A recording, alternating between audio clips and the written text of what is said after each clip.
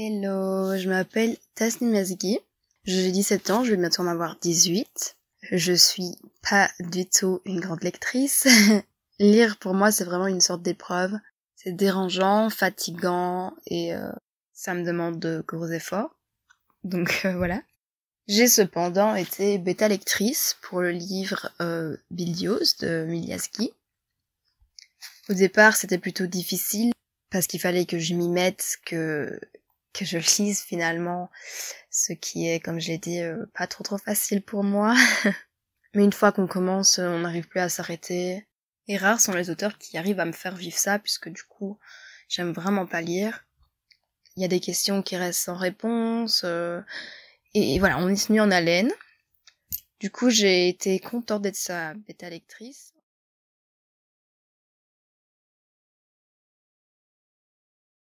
Il y en a plusieurs, généralement c'est un groupe.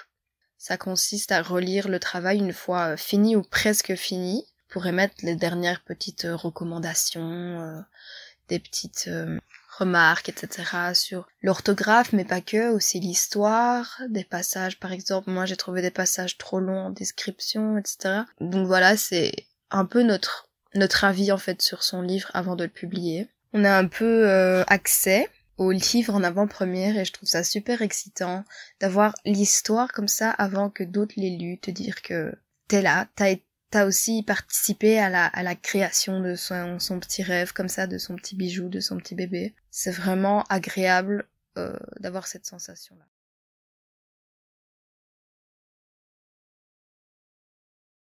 Mon passage préféré a été lorsqu'un des personnages qui s'avèrent au début de l'histoire joyeux, lumineux, peureux et plutôt faible en fait, se transforme et change radicalement de caractère, de manière d'être, suite à la perte d'un proche.